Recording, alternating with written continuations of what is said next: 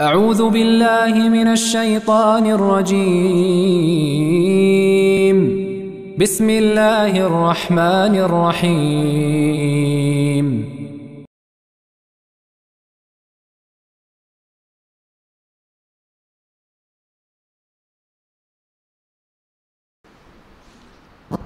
السلام علیکم ورحمۃ اللہ وبرکاتہ بھائیوں سے گزارش ہے جو نیچے تشریف فرما ہیں قریب قریب ہو کر بیٹھیں تاکہ پیچھے سے آنے والے بھائیوں کو کوئی تکلیف نہ ہو اور بعد میں آنے والے بھائی بآسانی بیٹھ سکیں۔ قریب قریب ہو کر بیٹھ جائیں۔ یہاں جگہ کافی خالی ہے، آگے بڑھ جائیں۔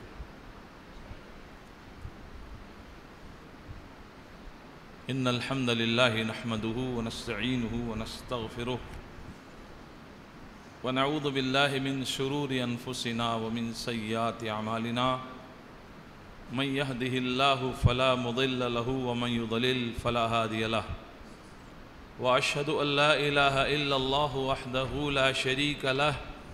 وأشهد أن محمدا عبده ورسوله. يا أيها الذين آمنوا اتقوا الله حق تقاته. ولا تموتن إلا وأنتم مسلمون. يا أيها الناس اتقوا ربكم الذي خلقكم من نفس واحدة وخلق منها زوجها وبث منهما رجالا كثيرا ونساء واتقوا الله الذي تساءلون به والأرحام إن الله كان عليكم رقيبا يا أيها الذين آمنوا اتقوا الله وقولوا قولا سديدا يصلح لكم أعمالكم ويغفر لكم ذنوبكم. ومن يطع الله ورسوله فقد فاز فوزا عظيما. أما بعد فإن خير الكلام كتاب الله وخير الهدي هدي محمد صلى الله عليه وسلم وشر الأمور محدثاتها وكل محدثة بدعة وكل بدعة ضلالة وكل ضلالة في النار.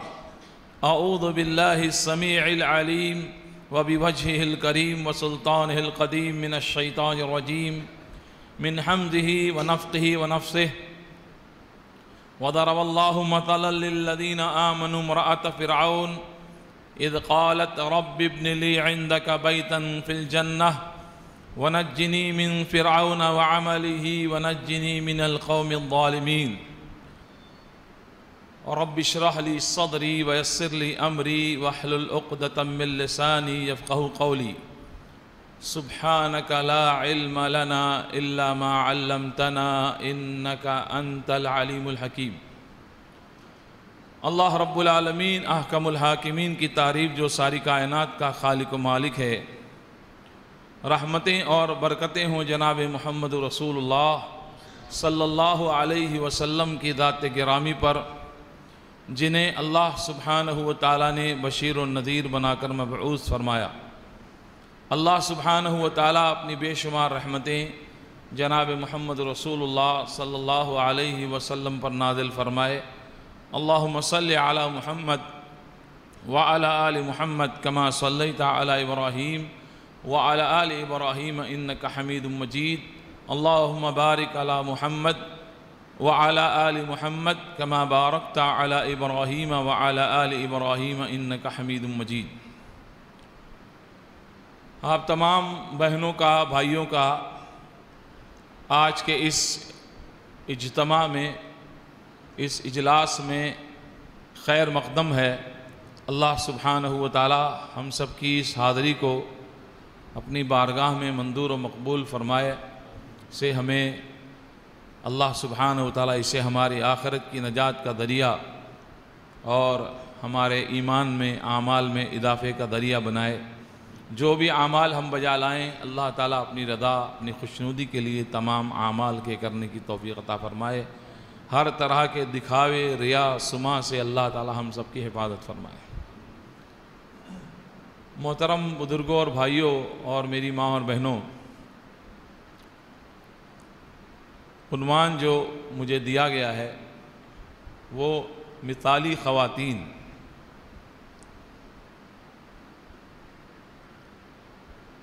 چند خصوصی خواتین کا میں تذکرہ آپ کے سامنے قرآن و سنت کی روشنی میں کرنے کی کوشش کروں گا۔ اللہ سبحانہ و تعالی رب العالمین نے جب سے دنیا کو بنایا ہے، جب سے انسان کو پیدا کیا ہے، مرد کے ساتھ اللہ تعالیٰ نے عورت کو بھی پیدا کیا۔ آپ سب بارہا اس آیت کو سنتے ہیں، جس آیت میں اللہ تعالیٰ نے انسانیت کی تاریخ کو بیان کیا۔ اللہ تعالیٰ نے فرمایا، یا ایوہ الناس اتقو ربکم الذی خلقکم من نفس واحدہ، وخلق منہا زوجہ۔ اے لوگو، اپنے پروردگار سے ڈرو، جس نے تم کو ایک جان سے پیدا کیا۔ اور اسی سے، اس ایک جان سے اس کا جوڑا بنایا۔ یعنی جب سے اللہ سبحانہ و تعالیٰ نے مرد کو پیدا کیا ہے، مرد کے اطمینان قلب کے لیے، سکون قلب کے لیے اللہ سبحانہ و تعالیٰ نے عورت کو بھی پیدا کیا۔ گویا عورت انسانیت کا آدھا حصہ ہے۔ اگر پہلا انسان مرد ہے، تو دوسرا انسان اللہ سبحانہ و تعالیٰ نے عورت کو بنایا اور مرد اور عورت کے رشتے کو اللہ سبحانہ و تعالیٰ نے اپنی نشانیوں میں سے نشانی بیان کیا وَمِنْ آيَاتِهِ أَنْ خَلَقَ لَكُم مِّنْ أَنفُسِكُمْ أَزْوَاجًا وَجَعَلَ بَيْنَكُمْ مَوَدَّةً وَرَحْمَةً. لِتَسْكُنُوا إِلَيْهَا وَجَعَلَ بَيْنَكُمْ مَوَدَّةً وَرَحْمَةً. اللہ تعالیٰ فرما رہا ہے کہ ہماری نشانیوں میں سے نشانی ہے کہ ہم نے مرد کا جوڑا، انسان کا جوڑا انسان ہی کو بنایا۔ آپ سوچیں انسان کا جوڑا اگر اللہ تعالیٰ کسی حیوان کو بناتا تو کیا گزر بسر ہو سکتی؟ ایک عجیب سی وحشت ہوتی۔ گزر بسر ممکن نہیں تھی۔ انسان کا جوڑا اللہ تعالیٰ اگر جن کو بنا دیتا، تو کیا حال ہوتا آپ سب سوچ سکتے ہیں۔ اللہ تعالیٰ فرما رہا ہے، ہماری نشانیوں میں سے نشانی ہے۔ وَمِنْ آيَاتِهِ أَنْ خَلَقَ لَكُم مِّنْ أَنفُسِكُمْ أَزْوَاجًا۔ کہ ہم نے انسان کا جوڑا انسان ہی کو بنایا تمہارا جوڑا تمہارے ہی نفس سے بنایا کس لیے بنایا؟ لِتَسْكُنُوا إِلَيْهَا۔ لِتَسْكُنُوا إِلَيْهَا تاکہ اس سے تم سکون حاصل کرو۔ تو میرے بھائیو، عورت، میں نے آپ سے عرض کیا کہ انسانیت کا آدھا حصہ ہے۔ اور اللہ سبحانہ و تعالیٰ نے جہاں مردوں کے جذبات کی قدر فرمائی ہے،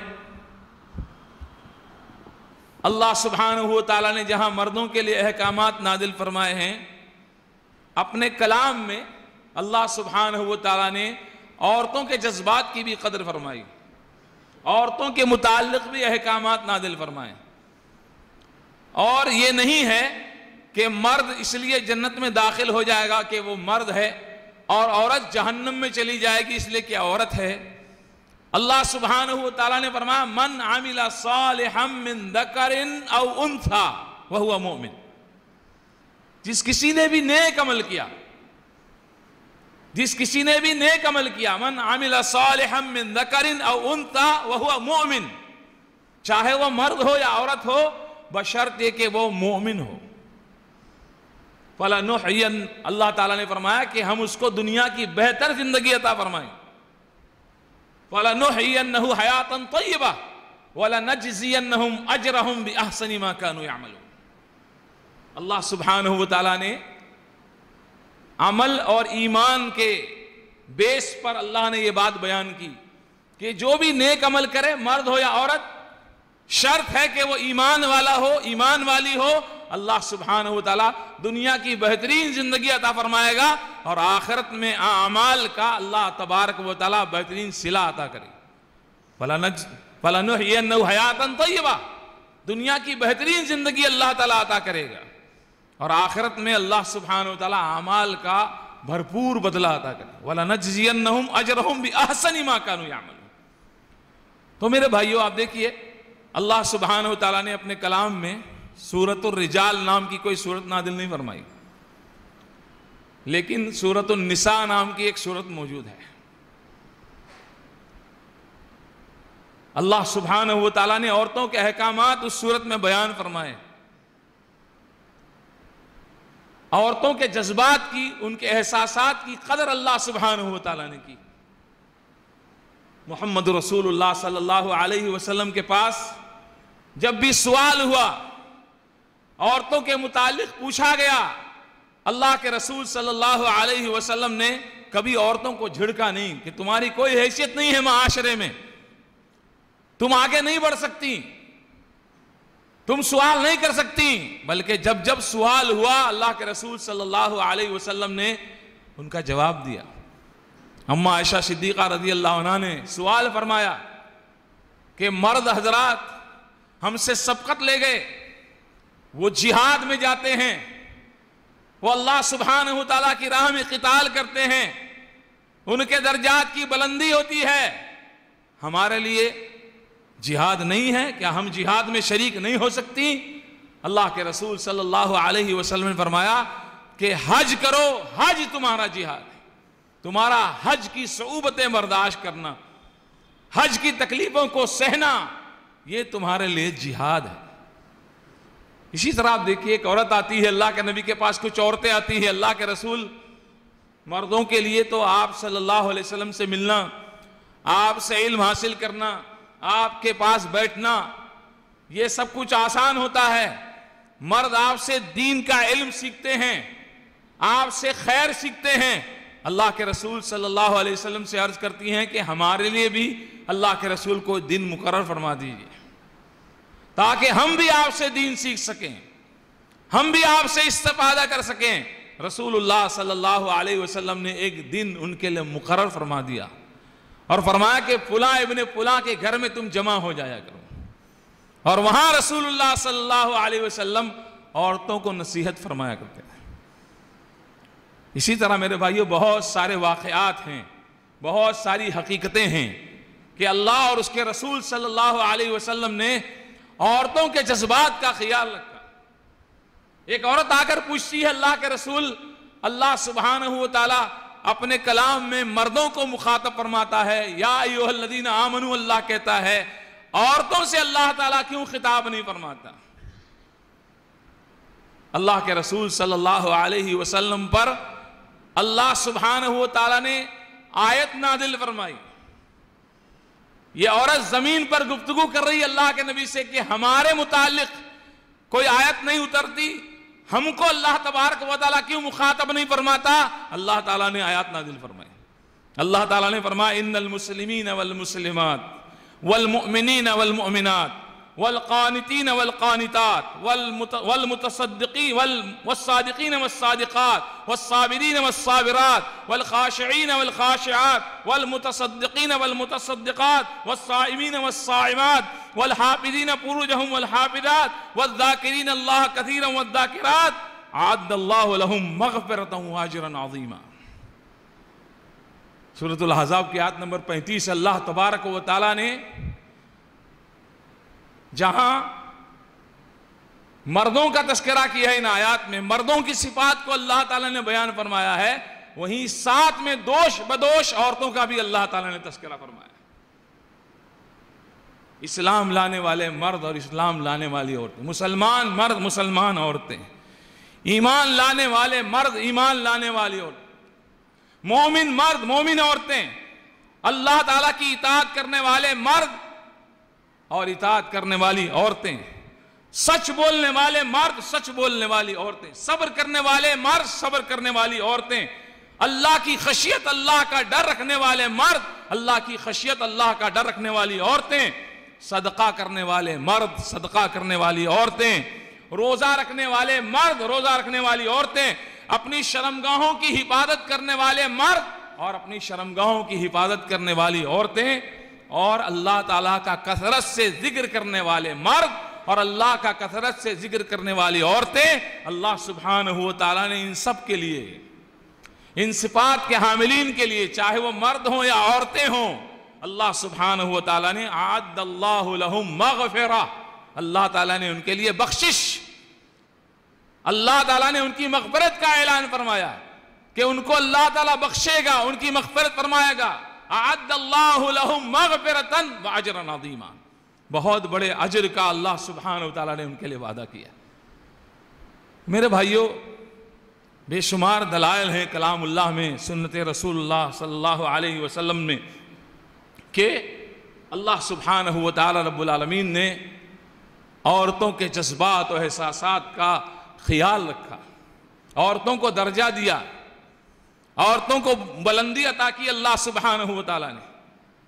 اور ہوتا ہے اکثر و بیشتر ایسا کہ مرد جو ہے وہ دین کے عمل کے معاملے میں عورتوں سے پیچھے ہو جاتا۔ ہے کچھ عورتیں اللہ کی کچھ بندیاں اس قدر پابند ہوتی ہیں دین کی، اس قدر پابند ہوتی ہیں اعمال کی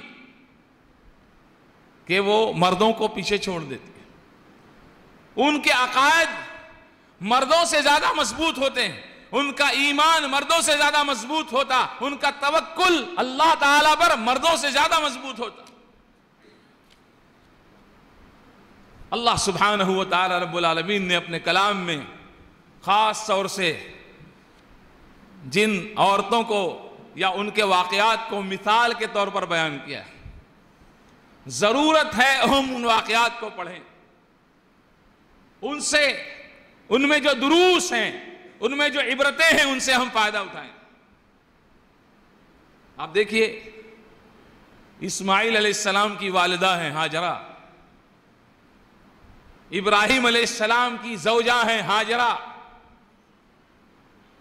اللہ تبارک و تعالیٰ پر توکل کس قدر پختہ ہے۔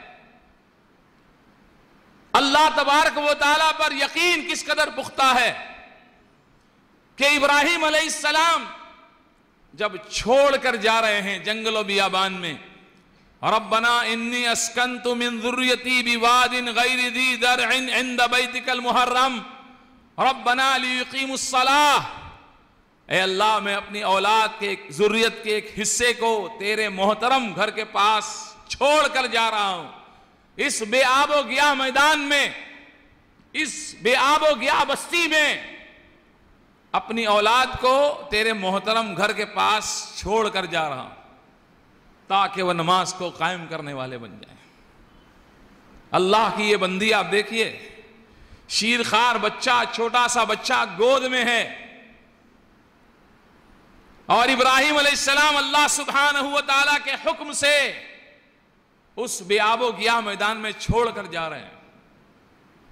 پوچھتی ہیں، سوال کرتی ہیں، یہاں پر اس جنگل و بیابان میں آپ ہمیں کس کے بھروسے پر چھوڑ کر جا رہے ہیں؟ ابراہیم علیہ السلام نے پلٹ کر نہیں دیکھا۔ ابراہیم علیہ السلام نے جواب نہیں دیا۔ مفسرین فرماتے ہیں کہ اس لیے ابراہیم علیہ السلام نہیں پلٹے کہ کہیں ایسا نہ ہو کہ بیوی اور بچے کی محبت اللہ کی محبت پر غالب آ جائے۔ اور ابراہیم علیہ السلام اپنا ارادہ بدل کر کے بیوی بچے کو دوبارہ لے کر چلے جائیں۔ اس لیے پلٹ کر بھی نہیں دیکھا۔ اور جب مائی نے پوچھا، کیا اللہ کا حکم ہے؟ تو ابراہیم علیہ السلام نے جواب دیا کہ ہاں اللہ کا حکم ہے۔ اللہ کی بندی کا توکل، اللہ کی بندی کا اللہ پر یقین کہ فرماتی ہیں کہ اللہ تعالیٰ کا حکم ہے، تو پھر اللہ ہمیں ضائع نہیں کرے۔ اللہ تعالیٰ ہمیں ضائع نہیں کرے اللہ تعالیٰ نے ضائع کیا۔ کوئی شکوہ نہیں ہے، کوئی شکایت نہیں ہے۔ اللہ تبارک و تعالیٰ پر کامل یقین ہے۔ مکمل بھروسہ ہے۔ ایسا نہیں ہے وہاں پر ماحول، حالات کہ ایک وہاں پر کٹیا جھوپڑی بنی ہوئی ہے کہ سایہ حاصل کرنے کے لیے وہاں جایا جا سکے۔ کچھ درخت نہیں ہے پھلوں سے لدے ہوئے کہ بھوک اور پیاس کے موقع پر پھل توڑ کر کسی ذریعے سے بھوک اور پیاس کو مٹا لیا جائے۔ وہاں جانور نہیں ٹہل رہے ہیں چار پیر کے کہ کبھی بھوک پیاس مٹانے کے لیے ان کا دودھ نکال کر پی لیا جائے۔ کچھ نہیں ہے۔ زندگی بچانے کا کوئی سامان نہیں ہے۔ بے آب و گیا میدان ہے، کوئی ہریالی بھی وہاں پیدا نہیں ہوتی، کوئی سبزہ نہیں اگتا۔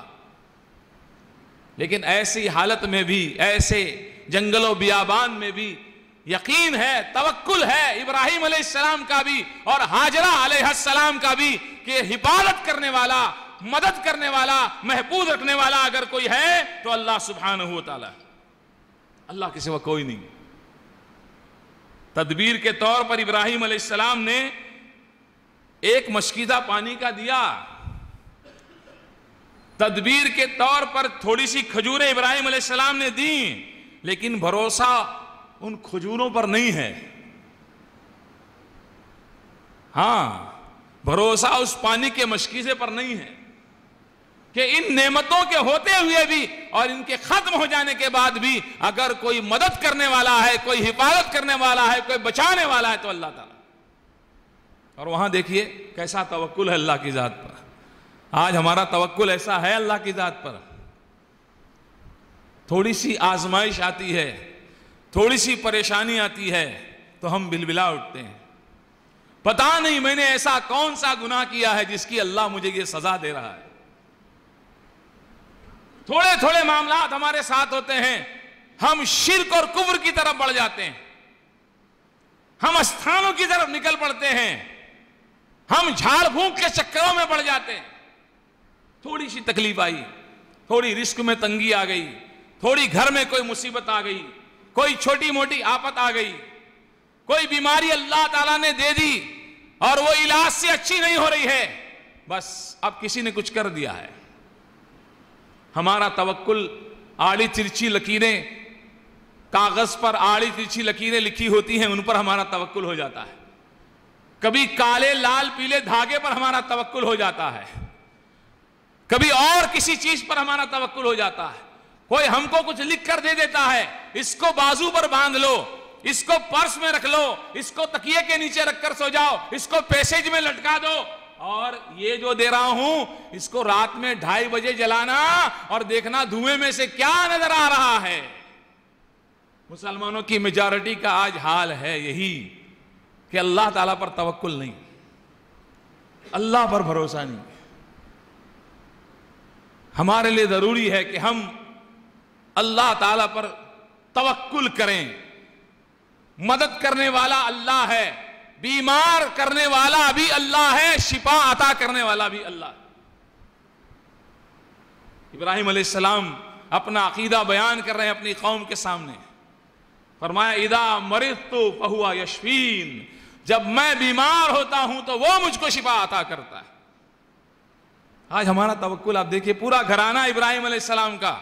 قد کانت لکم اسوت حسنت فی ابراہیم والذین معاہ یقیناً ابراہیم علیہ السلام اور ان کے ساتھیوں میں تمہارے لیے بہترین نمونہ موجود ہے۔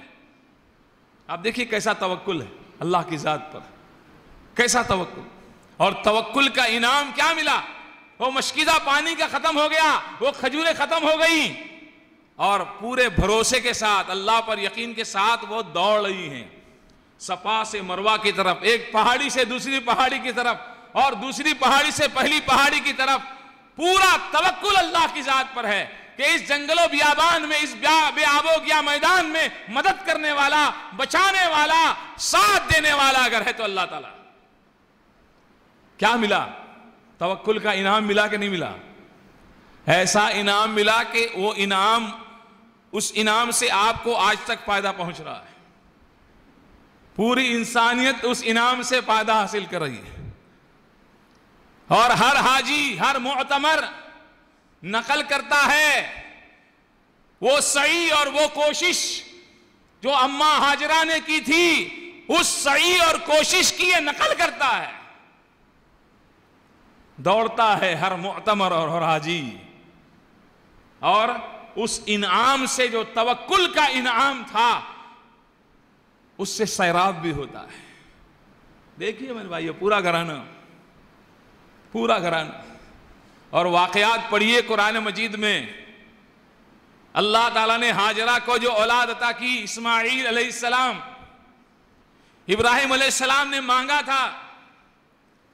رب حبلی من الصالحین۔ اللہ تعالیٰ سے کہا تھا لیکن اللہ تعالیٰ نے کہا جنگل و بیابان میں چھوڑو، ہماری خوشنودی اسی میں ہے، چھوڑ دیا۔ اس کے بعد جب بچہ دوڑ دھوپ کے قابل ہو گیا، فلما بلغ معه السایا قال يا بني اني ارى في المنام اني اذبحك فانظر ماذا ترى۔ یہاں پر دیکھیے، حاجرہ علیہ السلام کا جو رول ہے، خاص طور سے باپ مکہ میں ہے، اولاد فلسطین میں ہے اولاد مکہ میں ہے، باپ فلسطین میں ہے۔ اولاد کہاں ہے؟ مکہ میں۔ اللہ تعالیٰ کے محترم گھر کے پاس۔ باپ فلسطین میں ہے۔ کتنی دوری ہے۔ قریب کون ہے؟ بچہ کس کے پاس ہے؟ تربیت کون کر رہا ہے؟ سکھا کون رہا ہے؟ اس کو سبق کون پڑھا رہا ہے؟ دیکھیے میری ماں اور بہنوں، آج ہم بچوں کو کیا سکھا رہی ہیں؟ آج بچوں کو مائیں بہنیں کیا سکھا رہی ہیں؟ آج بچہ پیدا ہوتا ہے تو اس کے ہاتھ میں موبائل ہوتا ہے۔ ہاں چھوٹے چھوٹے بچوں کو آپ دیکھیے، ان کو اسکرین پر کون سا بٹن دبانے سے کیا جو ہے آئے گا سامنے ان کو معلوم ہے۔ وہ اپنی توتلی زبان سے یوٹیوب یوٹیوب یوٹیوب یوٹیوب بول رہے ہیں۔ لگتا ہے یوسف بول رہے ہیں، لیکن حقیقت میں وہ یوٹیوب بول رہے ہوتے ہیں۔ دیکھیں آج، تربیت کا کیا عالم ہے؟ ہم کیا سکھا رہے ہیں اپنی اولادوں کو؟ ماں نے کیسی تربیت کی تھی؟ حاجرہ نے کیسی تربیت کی تھی؟ کہ جب والد صاحب آ رہے ہیں، ایک موقع پر خواب دیکھ کر آ رہے ہیں۔ انی ارا بل منام انی ادبہک فندر مادہ ترا۔ بیٹے، خواب میں دیکھا ہے، تم کو ذبح کر رہا ہوں۔ تمہارا کیا خیال ہے؟ کیا مشورہ ہے؟ اور پوچھ کیوں رہے ہیں؟ ہمارے والدوں کی طرح، ہمارے دور کے جو باپ ہیں، ان کی طرح نہیں کہ بیٹے نے اگر رضامندی کا اظہار کیا تو عمل کریں گے اور بیٹے نے ہوں ہاں کیا تو بیٹے کے ساتھ خود بھی بیٹھ جائیں گے۔ فجر کی نماز کو چل بیٹا، اذان ہو گئی، چل بیٹا۔ بیٹے نے ہوں ہاں کیا تو ٹھیک ہے، تو نہیں جاتا تو میں بھی نہیں جاتا۔ لے لحاظ اڑا کر باپ نے سلا دیا۔ ابراہیم علیہ السلام نے کیوں پوچھا؟ ابراہیم علیہ السلام نے مشورہ کیوں کیا؟ انی ارا بالمنام انی ادبہک فندر مادا ترا۔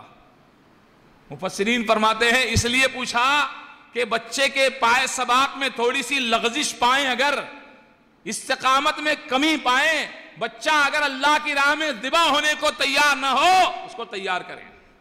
لیکن ایسی نوبت آئی، بچہ ایسا تربیت یافتہ ہے، بچے کی ایسی تربیت کی گئی ہے کہ بچہ یہ نہیں کہہ رہا ہے کہ ابا جان وہ چیز کر گزریے جس کا جس, جس کو آپ نے خواب میں دیکھا ہے۔ بلکہ بچہ کہہ رہا ہے اف الما تو عمر اف الما تو عمر آپ اس کو کر گزریے جس کا آپ کو حکم ہوا ہے۔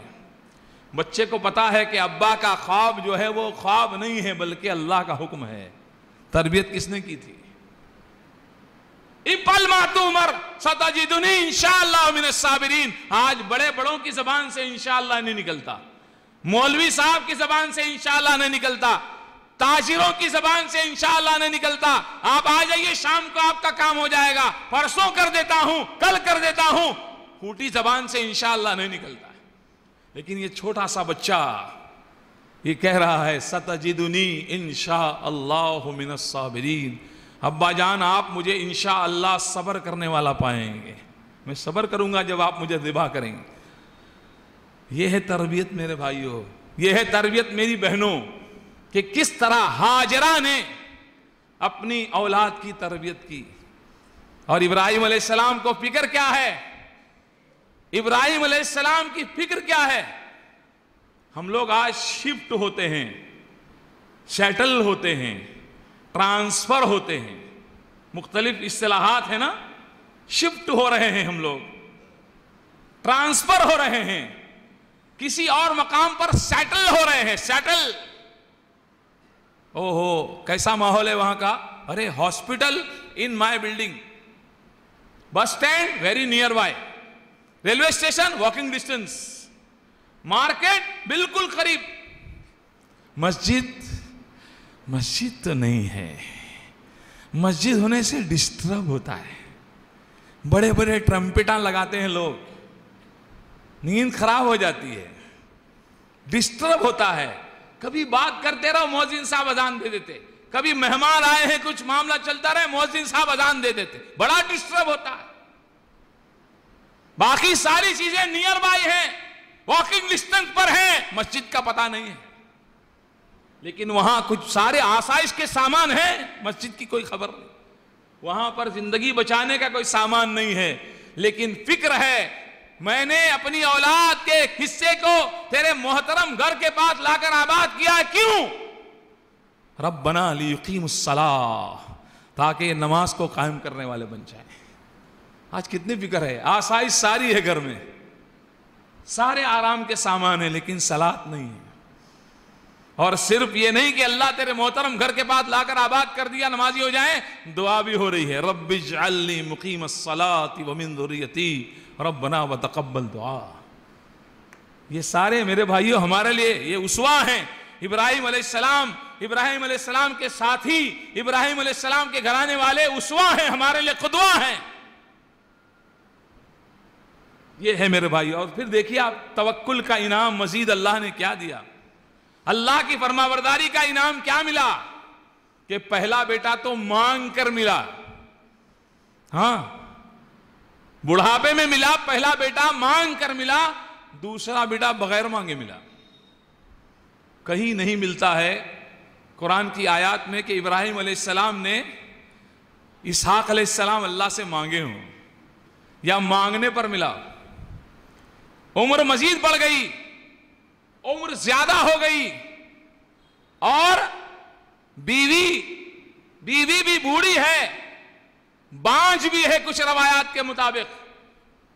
اور فرشتے دوسرے بیٹے کی خوشخبری لے کر آ رہے ہیں۔ پڑھیے قرآن کو میرے بھائیو، ہمارے گھروں میں تاکوں کی زینت بنا ہوا ہے۔ اٹھائیے اس کو۔ منہ سے چوم رہے ہیں، آنکھوں سے لگا رہے ہیں اور باہوں میں لے رہے ہیں۔ لیکن کیا پیغام ہے اللہ سبحانہ و تعالیٰ کا وہ پڑھتے نہیں۔ فرشتے آ رہے ہیں سارا کے پاس، ابراہیم علیہ السلام کے پاس دوسرے بیٹے کی خوشخبری لے کر۔ اور تعجب ہو رہا ہے سارا کو تعجب ہو رہا ہے علیہ السلام کو۔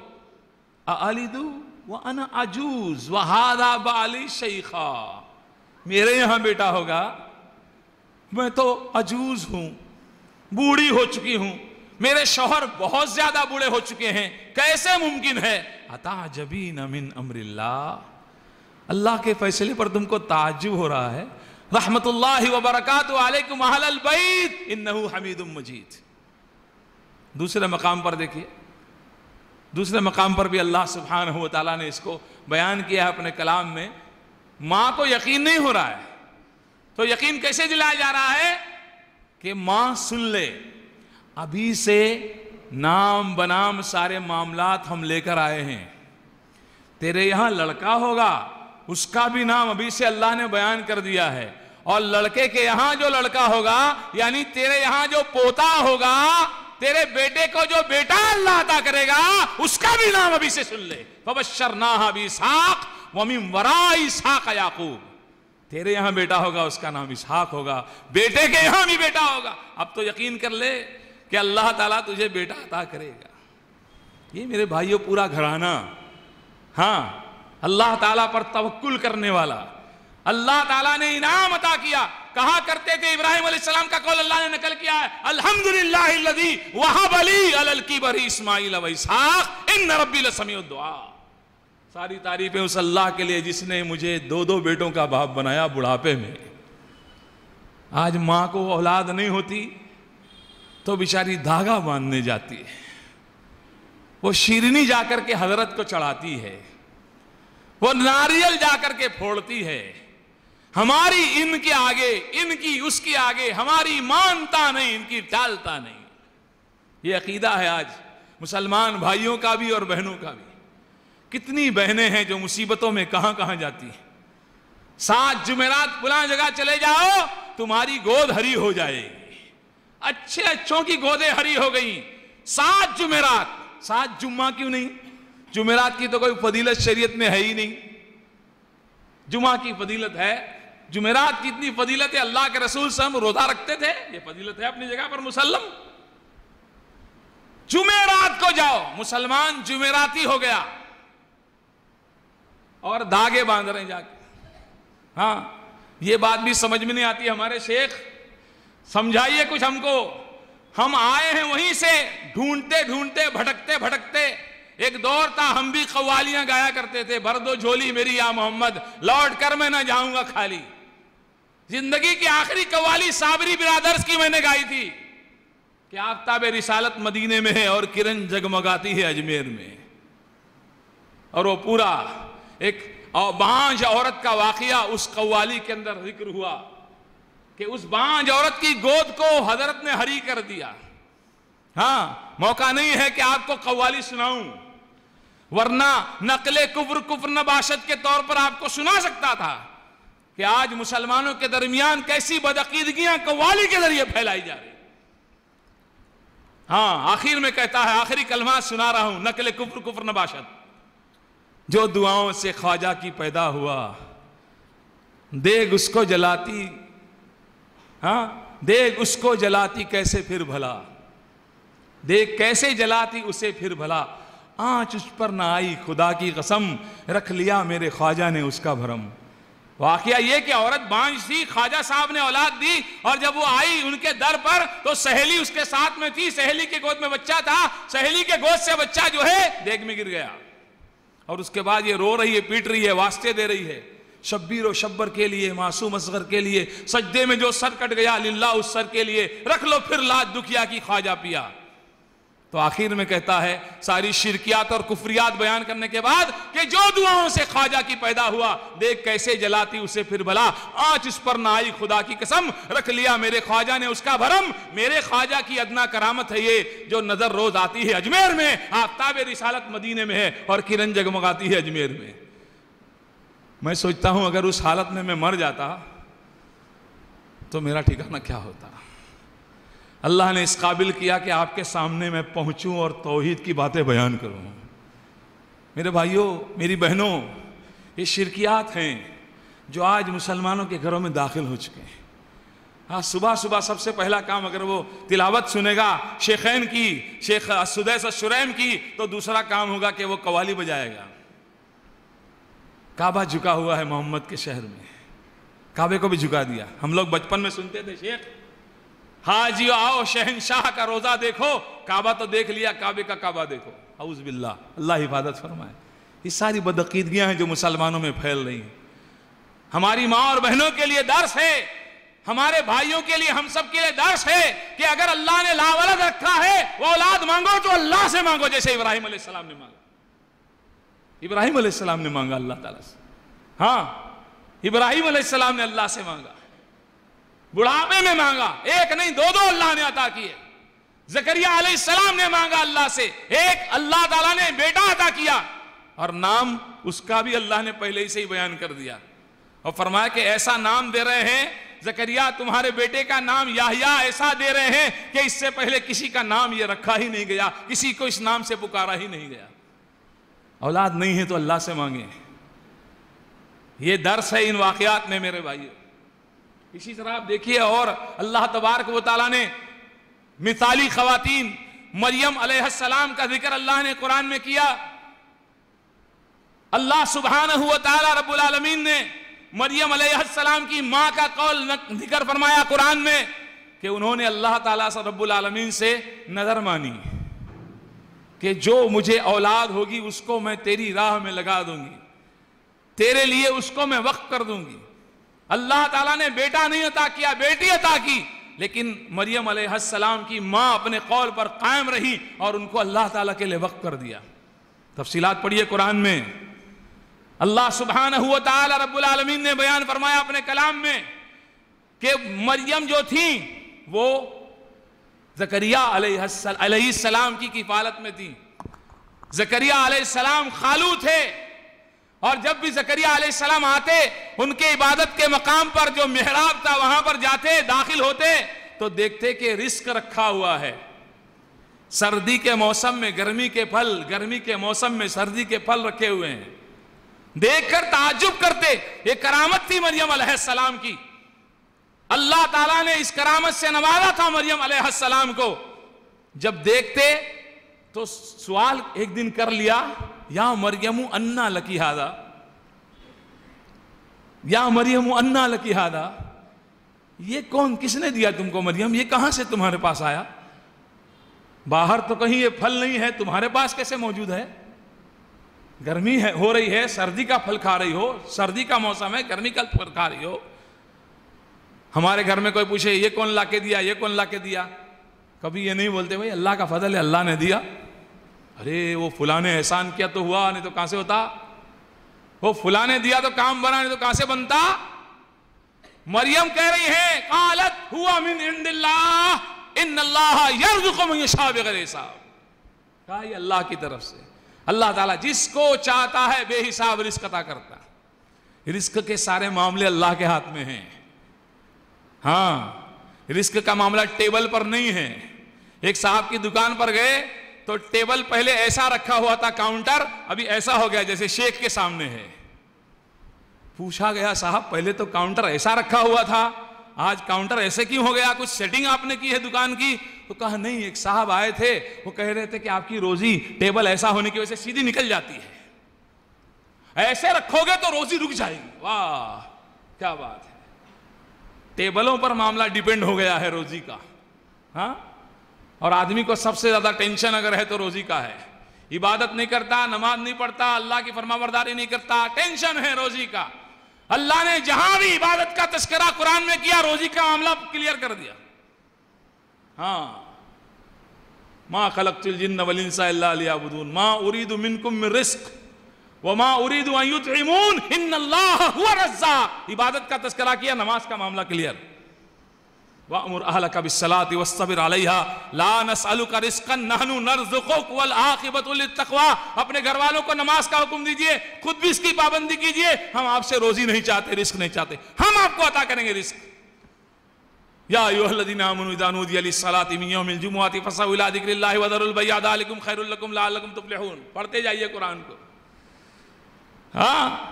فَإِذَا قُدِيَتِ الصَّلَاةُ فَانْتَشِرُوا فِي نماز سے پہلے چھوڑ دو سب معاملے، نماز کے بعد پھیل جاؤ۔ اور آخر میں کیا فرمایا؟ وَإِذَا رَأَوْا تِجَارَةً أَوْ لَهْوًا انفضوا إِلَيْهَا وَتَرَكُوكَ قَائِمًا قُلْ مَا عِندَ اللَّهِ خَيْرٌ مِّنَ اللَّهِ وَمِنَ التِّجَارَةِ۔ وَاللَّهُ خَيْرُ الرَّازِقِينَ۔ سارے معاملے ہاں اللہ رحم فرمائے۔ تو میرے بھائیوں، میری ماں اور بہنوں اللہ تعالیٰ نے رزق کا انتظام کیا۔ اب دیکھیے، ان کا توکل، ان کا یہ کہنا کہ ان اللہ ہوا رزا یہ کہنا کہ قالت ہوا من اللہ۔ ان اللہ یرزق من شاء بغیر حساب۔ اس ایک کلمے نے دل کے اندر ایک خیال پیدا کر دیا کہ وہ اللہ جو بے موسم روزیاں دینے پر قادر ہے۔ وہ مجھ کو اولاد نہیں دے سکتا۔ اللہ اکبر۔ مجھ پر بھی سے موسم گزر چکا ہے نا۔ کیا اللہ تعالیٰ مجھے اولاد نہیں دے گا؟ ہنالک دعا زکریا ربا رب حبلی من لدنکا ذریتا طیبتا انکا سمیع الدعا۔ پڑھو قرآن کو میرے بھائیو۔ اور اس یقین کے ساتھ مانگا تھا زکریہ نے کہ ولم اکم بدعائک ربی شقیہ، اللہ تجھ سے مانگ کر کبھی نامراد نہیں ہوا۔ مریم علیہ السلام کا ذکر قرآن میں پڑھو۔ اللہ سبحانہ و تعالیٰ نے فرمایا وَذْكُرْ فِي الْكِتَابِ مریم۔ مریم علیہ السلام کا ذکر بھی قرآن میں آپ کیجیے، اپنی اس کتاب میں کیجیے۔ اور پوری تفصیل میرے بھائیو، سورہ مریم پوری موجود ہے۔ اللہ سبحانہ و تعالیٰ رب العالمین نے، اولاد کا معاملہ چل رہا ہے نا بوڑھے ابراہیم کو عطا کیا، بوڑھے زکریہ کو عطا کیا اور ایسی کو عطا کیا جس کو کسی مرد نے چھوا بھی نہیں تھا۔ تم کہاں دھاگے باندھنے جا رہے ہو؟ ایک ایسی بندی کو کہ جس کو کسی مرد نے چھوا بھی نہیں ہے، ایسی بندی کو بھی اللہ سبحانہ و تعالیٰ نے عطا فرمایا۔ پورا واقعہ پڑھیا لیکن ہوا کیا؟ عطا اللہ نے کیا، حکم اللہ کا تھا، فیصلہ اللہ کا تھا۔ لیکن جیسے عام دنیا کا رواج ہے، لوگوں نے بدکاری کی تہمت لگائی۔ ایک تو حمل کی تکلیف اللہ بیان کر رہا ہے قرآن میں، پوری سورہ مریم کی ابتدا کو آپ دیکھیے۔ ایک تو حمل کی تکلیف، بوجھ اٹھانا۔ غمگین ہے کہ قوم کیا کہے گی؟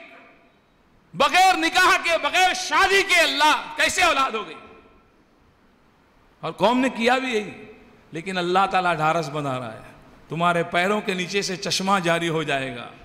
اس کا پانی تم پیتی رہنا۔ اور یہ کھجور کا درخت ہے، اس میں پھل لگے ہوئے ہیں۔ تم ہلانا بس کھجور کے درخت کو۔ کھجوریں گریں گی، تم اس کو کھانا اور خوش رہنا۔ ٹینشن مت لو۔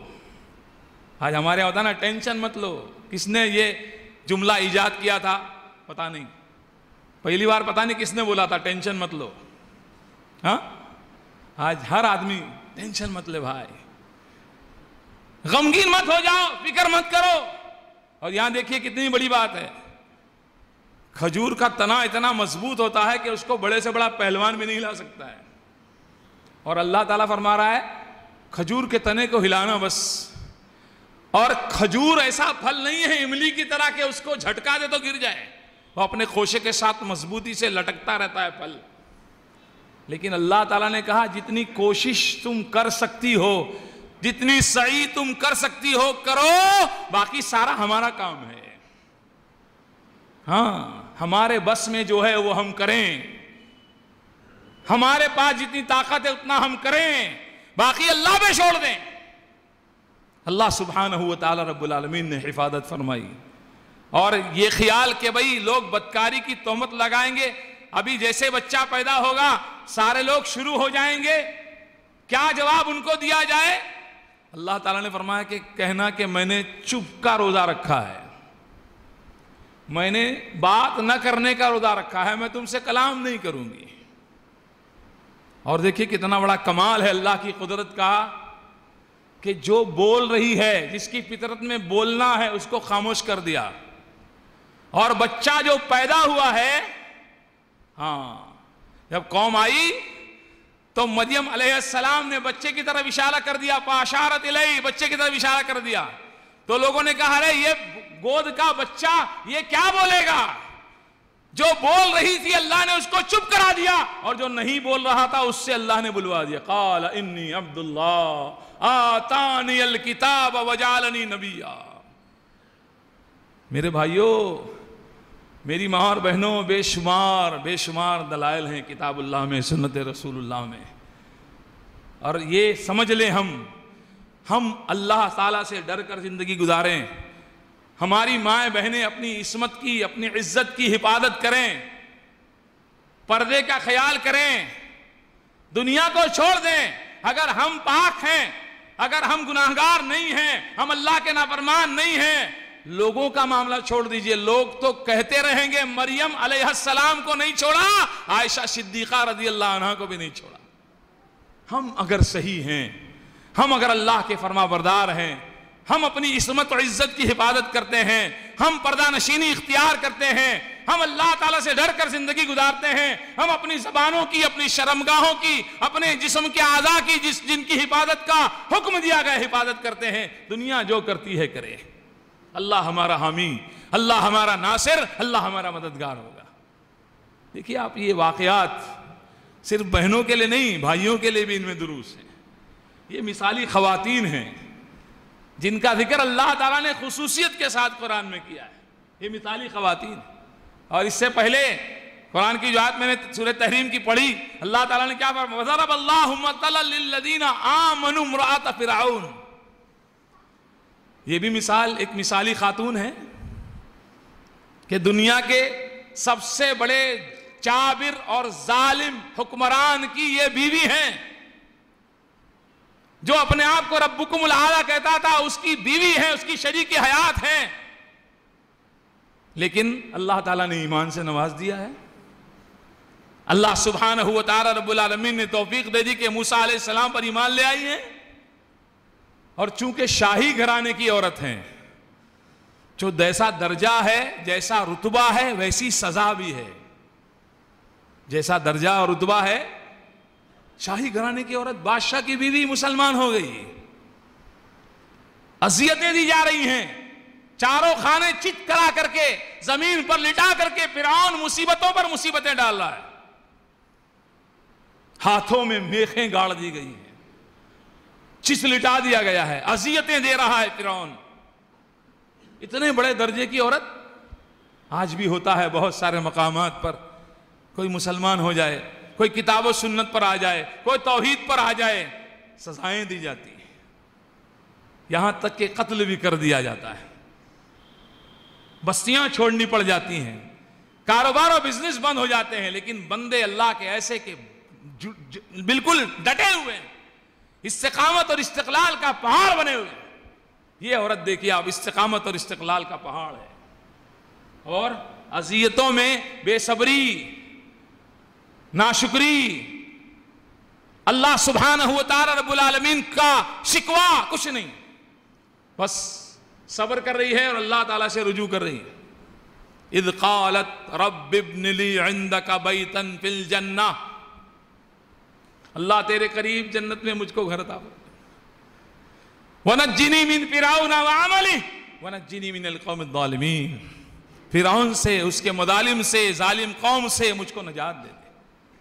اللہ تعالیٰ نے اس کی دعا کو سنا اور تفسیروں میں آتا ہے کہ اللہ تعالیٰ جنت میں اس کو اپنا، اس کا گھر دکھاتا، اس کا محل دکھاتا، اس کا مقام دکھاتا۔ زمین پر اس کو اذیتیں دی جا رہی ہیں اور آخرت کا محل، آخرت کی نعمتیں اللہ اس کو دکھا رہا ہے اور وہ مسکرا رہے ہیں۔ اذیتوں اور تکلیفوں کے باوجود وہ جنت کا محل دیکھ کر کے ہنس رہی ہے۔ تنگ ہو گیا فرعون، تھک گیا فرعون۔ میرے بھائیو، ایمان ایسی چیز ہے کہ آدمی میں استقامت، استقلال پیدا کرنے والی چیز ہے ایمان۔ عمر رضی اللہ عنہ اپنی لونڈی کو مارا کرتے تھے اور مارتے مارتے مارتے رکتے، کہتے، اس لیے نہیں رکا ہوں کہ تجھ پہ ترس آ گیا ہے میں تھک گیا ہوں مارتے مارتے۔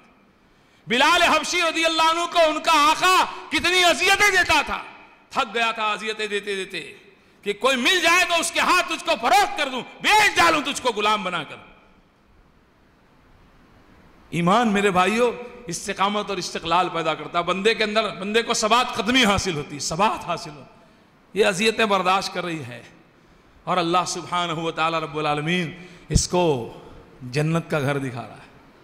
یہ کیسی خواتین تھی میرے بھائیوں ان کا صبر، ان کا استقلال، ان کی استقامت دلیل ہے، نمونہ ہے۔ کہ اذیتیں آئیں دنیا میں، آزمائشیں آئیں، اللہ کی طرف سے وَلَنَبْلُوَنَّكُمْ بِشَيْءٍ مِّنَ الْخَوْفِ وَالْجُوعِ وَنَقْصٍ مِّنَ الْأَمْوَالِ وَالْأَنفُسِ وَالْأَنفُسِ وَالثَّمَرَاتِ وَبَشِّرِ الصَّابِرِينَ الَّذِينَ إِذَا أَصَابَتْهُمْ مُصِيبَةٌ قَالُوا إِنَّا لِلَّهِ وَإِنَّا إِلَيْهِ رَاجِعُونَ۔ یہ نہیں کہ جزا فضا میں لگ جائے بندہ، یہ نہیں کہ اللہ تبارک تعالیٰ سے کہنے لگے، اللہ میرا کیا قصور ہے؟ کس گناہ کی سزا مجھ کو مل رہی؟ ہے یہ میرے بھائیوں قرآن میں واقعات محفوظ ہیں، ان کو ہم پڑھیں۔ تاکہ ہمارے اندر بھی استقامت اور استقلال پیدا ہو، ہمارے اندر بھی دین پر ثابت قدمی کا معاملہ پیدا ہو۔ اللہ ہمیں اس کی توفیق دے اور پھر رسول اللہ صلی اللہ علیہ وسلم کے دور کی خواتین کو بھی دیکھیں۔ اسلام کی سب سے پہلی شہیدہ عورت کون ہے؟ سب سے پہلی شہیدہ عورت۔ کیسا صبر ہے؟ کیسا، کیسی استقامت ہے؟ سمیہ رضی اللہ عنہ سارے کے سارے گھرانے والوں کو برہنا کر کے ایک دوسرے کے سامنے ڈال دیا گیا لیکن ایک اللہ کے نبی صلی اللہ علیہ وسلم کا جملہ کانوں سے ٹکراتا ہے، استقامت بڑھ جاتی ہے۔ صبرن یا آل یاسر موعدکم الجنہ۔ یاسر کے گھرانے والوں صبر کرو، میں تمہارے لیے جنت کا وعدہ کروں۔ ایک ساتھ تم سارے کے سارے جنت میں داخل ہو جاؤ گے۔ آپ دیکھیے، کیسا سبات ہے۔ ام سلیم کو پڑھیے۔ ہماری بہنیں آج ان عورتوں کو اپنا آئیڈیل بنائیں، اپنی زندگیاں ان کی زندگیوں کے مطابق کریں۔ یہ ام سلیم، اللہ کے نبی صلی اللہ علیہ وسلم کی صحابیہ مسلمان ہو گئی۔ ان کے شوہر جو ہیں، انس رضی اللہ عنہ کے والد مالک، وہ ایمان نہیں لائے۔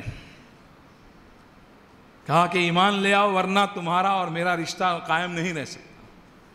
مالک ایمان نہیں لائے۔ چھوڑ دیا۔ الگ ہو گئی۔ کچھ عرصے کے بعد عرب کے ایک بڑے آدمی نے، شریف آدمی نے، مالدار شخصیت نے نکاح کا پیغام دیا۔ نام ہے ابو طلحہ رضی اللہ عنہ۔ کہا کہ تمہارے جیسے شریف آدمی کا رشتہ ٹھکرایا تو نہیں جا سکتا، لیکن تمہارا اور میرا نکاح نہیں ہو سکتا۔ اس لیے کہ میں مسلمان ہوں، میں مومنہ ہوں اور تم کافر ہو۔ کہا کہ اگر میں ایمان لے آؤں، مسلمان ہو جاؤں تو؟ کہا کہ تمہارا اسلام لانا یہی میرا مہر ہوگا۔ میں کوئی مہر تم سے نہیں لوں گی۔ تمہارا اسلام قبول کرنا یہی میرا مہر ہوگا۔ آج مہر کے معاملے میں دیکھیے کہاں کہاں کیا کیا چکر ہوتے ہیں۔ شادیوں کے معاملے دیکھیے، کسی کو پہچاننا ہے، آپ کو کتنا بڑا سلفی ہے، کتنا بڑا اہل حدیث ہے، کتنا بڑا مسلمان ہے، تو اس کی شادی دیکھو جائے گی سارا پتہ چل جائے گا کتنا پابند ہے قرآن حدیث کا۔ بار بار قرآن کا حوالہ، حدیث کا حوالہ۔ اس کو شادی میں قرآن حدیث نہیں نظر آتا ہے۔ اس کو ڈیکوریشن میں قرآن حدیث نہیں نظر آتا ہے۔ اس کو جب ویڈیوگرافی ہو رہی ہوتی ہے اور اس کی عورتوں کو، اس کی رشتہ دار عورتوں کو، اس کی بیٹیوں کو اور دوسری عورتوں کو جھانک جھانک کر کے لوگ دیکھ رہے ہوتے ہیں کہ میرے کے ساتھ تو یہ خوش ہوتا ہے۔ اور جب وہ مستنڈے لوگ جو گھور گھور کر الگ الگ طرح کے پوزس لے رہے تھے اس کی رشتہ دار بچیوں اور عورتوں کی، جب وہ ہاں رخصت ہونے لگتے ہیں، تو اپنی اپنی پرائیویٹ پاکٹ سے کرارے کرارے نوٹ نکالتا ہے۔ اور عجیب طرح کی مسکراہٹ کے ساتھ دس از اے ٹپ فرام مائی پاکٹ جو آپ کا فکس ہوا rate you will get it afterwards کیا ہوگا اس کا حال؟ یہ خوش ہو رہا ہے۔ یہ جو میں دے رہا ہوں نا اپنی جیب سے، یہ ٹپ ہے، تم نے میری بیوی کو گھورا۔ میری رشتہ دار عورتوں کو گھورا، میری بیٹیوں کی الگ الگ پوزز لیے، ہر نوالے پر ایک پوز لیا، ہر میٹھے پر ایک پوز لیا، ہر ڈرنک پر ایک پوز لیا۔ میں نے پینتالیس ڈش رکھے تھے، جو جو جو جو ڈش لیتی تھی عورت، اس کے پوزز تم نے لیے۔ اس کا یہ حق الخدمت لے کر جاؤ۔ اور اصل جو تمہارا فکس ہوا ہے، وہ you'll get it afterwards by check okay please to meet you ہاتھ ملاتا ہے۔ سر پہ نماز کا نشان بھی ہے، چہرے پہ داڑھی بھی ہے، پجامہ بھی ٹکنے کے اوپر ہے، لیکن راضی ہے کہ عورتوں کو آ کر کوئی گھورے۔ صرف گھورے نہیں، بلکہ جس طرح چاہے پوزس لے کر جائے اور اپنے مستنڈے مردود ساتھیوں کے ساتھ بیٹھ کر پھر اسکرین پر جیسے چاہے دیکھے۔ یہ خوش ہے اس کے اوپر۔ اللہ تعالیٰ رحم فرمائے۔ تو یہی کہہ رہا ہوں، اگر دیکھنا ہے، کتنا پکا میاں بھائی ہے یہ، کتنا پکا مسلمان ہے، کتنا پکا سلفی اور حدیث ہے۔ ہاں عورتیں کھلا رہی ہوتی ہیں، مولوی صاحب کھا رہے ہوتے ہیں۔ ہاں۔ کون ہے؟ ٹیبل پر کون ہے؟ لیڈیز کھلا رہی ہے مولانا صاحب کی پیشانی پہ بل بھی نہیں آ رہا ہے۔ اور مولانا صاحب بڑے انہماک کے ساتھ کھا رہے ہیں۔ ان کی دکھتی رگ، ممبر پہ تو پھڑکتی ہے۔ ہاں ان کی غیرت کی رگ جو ہے، غیرت کی رگ، دکھتی رگ نہیں، غیرت کی رگ ان کی ممبر اور محراب میں تو پھڑکتی ہے، لیکن شادی کے حال میں انہیں غیرت نہیں آتی ہے۔ اللہ میری قوم کو ہدایت دے۔ تو میرے بھائیوں اللہ سبحانہ و تعالیٰ نے ہم سب کو یہاں جمع کیا ان خیر کی باتوں کو سننے کے لیے اور ہماری ماں بہنوں کے لیے خاص طور سے ام سلیم رضی اللہ عنہ انہا کا کی سیرت، ان کا کردار آپ دیکھیے، کہہ رہی ہیں کہ اگر تم اسلام لے آتے ہو تو تمہارا اسلام ہی میرا مہر ہوگا۔ اللہ کے نبی کے پاس گئے، اسلام قبول کیا۔ اور اس کے بعد نکاح ہو گیا۔ اللہ سبحانہ و تعالی رب العالمین نے اولادوں سے نوازا۔ پھر واقعات آپ پڑھیے کہ ایک سفر میں اللہ کے نبی کے ساتھ لوٹ رہے ہیں۔ ام سلیم کو درد اٹھا، حاملہ تھی وہ۔ اللہ کے نبی صلی اللہ علیہ وسلم کے صحابی دعا کر رہے ہیں اللہ سے کہ اللہ تعالیٰ کبھی ایسا نہیں ہوا کہ میں کسی سفر میں نبی صلی اللہ علیہ وسلم کے ساتھ لوٹ رہا ہوں اور آپ کے ساتھ میں مدینہ میں داخل نہیں ہوا ہوں ایسا کبھی نہیں ہوا۔ اللہ تعالیٰ ایسی کوئی سبیل پیدا کر دے کہ میں نبی صلی اللہ علیہ وسلم کے ساتھ داخل ہو جاؤں۔ کیوں؟ اس لیے کہ بیوی کو درد اٹھا ہے۔ صحرا میں کوئی ساتھی نہیں ہے۔ کسی کو پتا نہیں ہے۔ اور میاں اور بیوی سے دونوں تنہا ہیں۔ اللہ تعالیٰ نے مدد کی۔ دعاؤں میں دیکھیے اثر ہوتا ہے۔ مانگے اللہ تعالیٰ سے۔ یقین کرتے ہوئے کہ وہ قبول کرنے والا۔ درد رک گیا۔ مدینہ پہنچے۔ اس کے بعد اللہ سبحانہ و تعالیٰ نے اولاد عطا فرمائی۔ اولاد، ایک اولاد اللہ نے ایسی دی کہ بڑا پیارا تھا، بڑا چہیتا تھا، ابو طلحہ رضی اللہ عنہ کا، وہ بیمار ہو گیا۔ اور بیمار ہونے کے بعد اس کا انتقال بھی ہو گیا۔ ابو طلحہ آتے ہیں، تھکے ہارے، اور آ کر کے پوچھتے ہیں، بچہ کیسا ہے؟ کہتی ہیں، بچہ پہلے سے بہت اچھا ہے۔ جو تکلیف تھی بچے کو وہ نہیں ہے۔ ابو طلحہ کو تسلی ہو جاتی ہے۔ دیکھیے، کیسی صابرین یہ عورت ہے۔ آج کی عورت کے بچے کا اگر انتقال ہو جائے تو وہ کیا کرتی ہے گھر کا کیا حال بناتی ہے؟ رشتہ داروں کے ساتھ اس کا کیا معاملہ ہوتا ہے؟ شوہر کو وہ کیسا غمگین کرتی ہے؟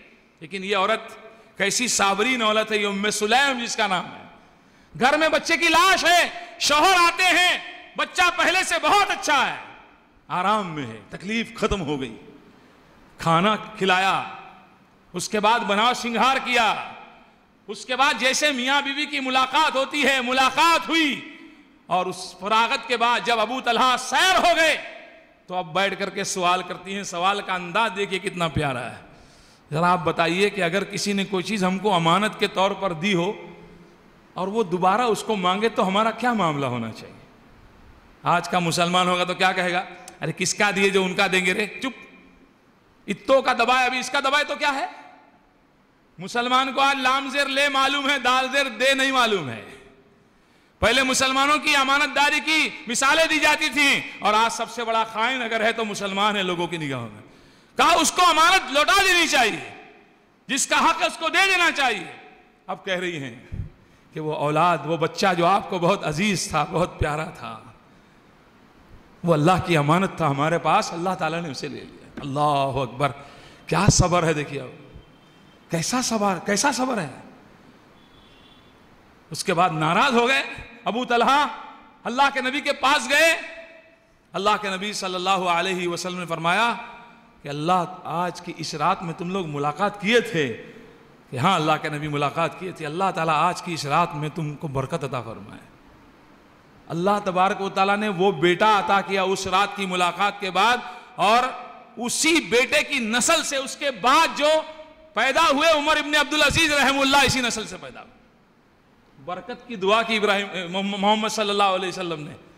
اور روایات کے اندر آتا کہ اللہ تبارک و تعالیٰ نے نو یا دس بیٹے ان کو عطا کیے اور بڑے بڑے دین کے عالم، کتاب و سنت کے عالم ہو یہ صبر کا بدلہ تھا میرے بھائی یہ بہت سارے واقعات ہمارے سامنے موجود ہیں۔ ایک وہ حفشی عورت کا واقعہ بھی سامنے ہے کہ جو اللہ کے نبی سے آ کے کہہ رہی ہے، اللہ کے نبی، مجھے مرضی کا دورہ پڑتا ہے۔ آپ دعا کریں میرے لیے کہ اللہ تعالیٰ میری اس بیماری کو دور کر دے۔ آپ صلی اللہ علیہ وسلم نے فرمایا، تیرے سامنے دو چیزیں رکھ رہا ہوں۔ دعا کرتا ہوں تیرے لیے، اللہ تبارک و تعالیٰ تیری بیماری کو دور کر دے گا۔ اور دوسرے یہ کہ میں یہ تجھ سے وسیعت کرتا ہوں، تجھ کو کہ صبر کر۔ اس بیماری پر، مرگی کے دورے پر صبر کر۔ اللہ تعالیٰ اس کے بدلے تجھے جنت نہ کرے گا۔ ہماری بے صبری کا عالم کیا ہوتا ہے؟ مولانا جنت دیکھیں گے، بعد میں عمل کر لیں گے۔ ابھی آپ ذرا دعا کر دیجیے، بس بیماری دور ہو جائے۔ آج تو کیا کیا کر لیتا آدمی؟ اچھا ہونے کے لیے، تکلیف دور کرنے کے لیے، شرک کر لیتا ہے، کفر کر لیتا ہے، کہاں کہاں چلا جاتا ہے۔ جو جو حضرت کہتے ہیں، وہ وہ سب کرتا ہے۔ غیر اللہ کے نام پہ جانور بھی دبا کر دیتا ہے۔ اور کیا کیا کر دیتا ہے؟ لیکن یہ بندی اللہ کے نبی آپ کہہ رہے ہیں تو میں صبر کروں گی۔ آپ سوچیے مرگی کی بیماری کیسی ہوتی ہے؟ دورہ پڑتا ہے تو مقام نہیں دیکھتا دورہ۔ کہ یہ آدمی کہاں کھڑا ہوا ہے؟ راستے کے بیچ میں ہے، گندگی کے پاس ہے، کہیں بھی ہے، دورہ پڑ جاتا ہے۔ اللہ کے نبی آپ کہتے ہیں تو میں صبر کروں گی، لیکن آپ میرے لیے اتنی دعا کر دیجیے۔ بیماری کی حالت میں فکر دیکھیے جب میں گرتی ہوں، مجھے دورہ پڑتا ہے، تو میرا کپڑا ہٹ جاتا ہے۔ میں بے پردہ ہو جاتی ہوں۔ اللہ کے نبی اتنی دعا کر دیجیے کہ دورہ مجھے پڑے تو میں بے پردہ نہ ہو جاؤں۔ میرا سطر نہ کھل جائے۔ چھپانے والا جسم کا حصہ نہ کھل جائے۔ ویسے تو عورت سارا کا سارا اس کا جسم پر عورت ہے، اس کا سطر پورا کا پورا جسم ہے۔ اللہ کے نبی دعا کر دیجیے میں بے پردہ نہ ہو جاؤں۔ رسول اللہ صلی اللہ علیہ وسلم نے اس کے لیے دعا کی۔ ہاں دیکھیے تندرست عورتوں کا کیا حال ہے۔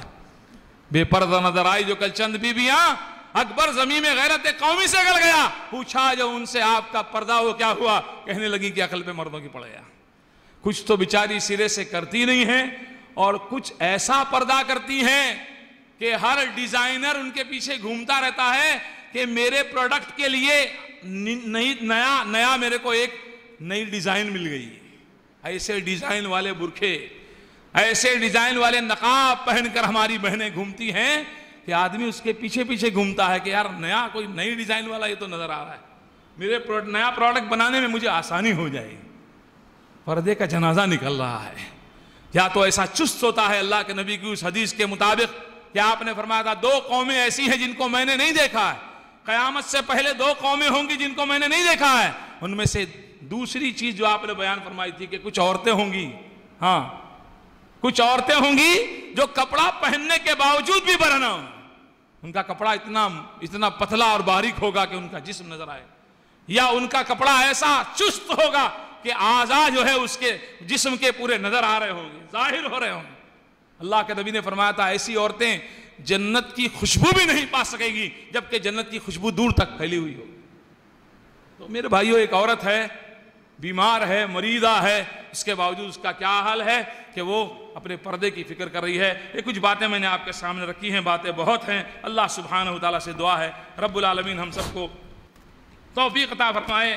ہم سب کو توفیق عطا فرمائے اللہ سبحانہ تعالیٰ کہ ہم سب صحابہ اور صحابیات کے طریقوں پر عمل کریں اور جو خاص طور سے عنوان ہے خواتین کے لیے مثالی خواتین، کچھ مثالیں میں نے آپ کے سامنے رکھیں۔ اللہ تعالی ہماری بہنوں کو بھی توفیق عطا فرمائے۔ ہم سب کو توفیق عطا فرمائے کہ ہم صحابہ اور صحابیات کے طریقے پر عمل کریں، ان کی زندگیوں کے مطابق زندگیاں گزاریں۔ اللہ تعالی ہمارے اندر دینی غیرت، حمیت پیدا فرمائے۔ ہم سب، ہمارے جوانوں کو اللہ اپنی جوانیوں کی قدر کی توفیق دے اور ہماری بہنوں کو اللہ تعالی اپنی عفت و عصمت کی حفاظت کی توفیق عطا فرمائے۔ ہر طرح کے فتنوں سے جو آج رونما ہو رہے ہیں، جنم لے رہے ہیں، پھیل رہے ہیں، ہر طرح کے فتنوں سے چاہے وہ انٹرنیٹ کا فتنہ ہو، چاہے وہ فیس بک کا فتنہ ہو، میں اکثر کہتا ہوں کہ آپ اگر فیس بک پر کچھ الٹا سیدھا کر رہے ہیں ہاں تو you have to face your book in front of your lord اللہ کے سامنے آپ کی کتاب کھلی ہوئی ہوگی اور آپ کو اس کتاب میں جو کچھ موجود ہوگا اس کے بارے میں آپ سے سوال کیا جانے والا ہے۔ اللہ تعالیٰ اس طرح کے تمام فتنوں سے ہماری حفاظت فرمائے۔ زندہ رکھے اپنی رضا کے ساتھ زندہ رکھے۔ موت دے اللہ اپنی رضا والی ایمان والی موت نصیب فرمائے۔ ہمارے اس پروگرام کو اللہ تعالیٰ قبول فرمائے۔ آپ تمام حضرات کے آنے کو، جمع ہونے کو، ہم سب کے کہنے، سننے کو اللہ تعالیٰ قبول فرمائے۔ ہماری بہت ساری بہنیں اپنی ضروریات کو چھوڑ کر، اپنی مصروفیات کو ترک کر کے اجتماع میں شریک ہوئی ہیں۔ اللہ تعالیٰ ان کے قدم قدم پر ان کو نیکی عطا فرمائے، قدم قدم پر درجات کو بلند فرمائے اور قدم قدم پر اللہ سبحانہ و تعالیٰ خطائیں معاف فرمائے۔ ربنا تقبل منا انکا انت السمیع العلیم وتب علینا انکا انت التواب الرحیم۔ وصلی اللہ تعالیٰ علی خیر خلقی محمد والی وآصحاب اجمعین۔ والسلام علیکم۔